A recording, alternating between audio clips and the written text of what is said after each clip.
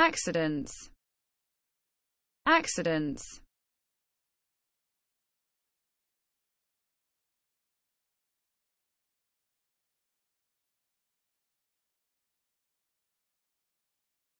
the accidents of inflections of words, the rudiments of grammar.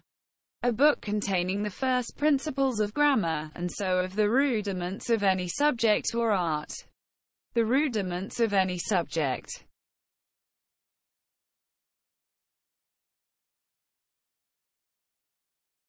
Accidence. Accidence.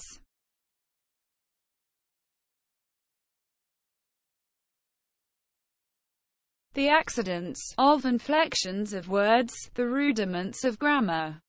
A book containing the first principles of grammar, and so of the rudiments of any subject or art. The rudiments of any subject.